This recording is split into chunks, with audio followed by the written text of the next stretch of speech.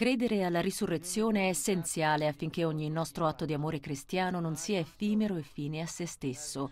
Prima dell'Angelus Papa Francesco è tornato a parlare del mistero della risurrezione a pochi giorni di distanza dalla solennità di tutti i santi e dalla commemorazione dei fedeli defunti. La risurrezione, ha detto, non è solo il fatto di risorgere dopo la morte, ma è un nuovo genere di vita che già sperimentiamo nell'oggi, è la vittoria sul nulla che già possiamo pregustare.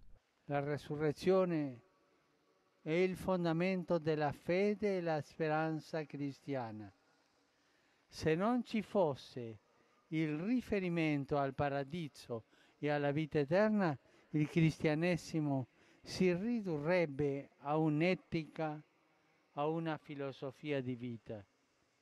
Invece il messaggio della fede cristiana viene dal cielo, è rivelato da Dio e va oltre questo mondo.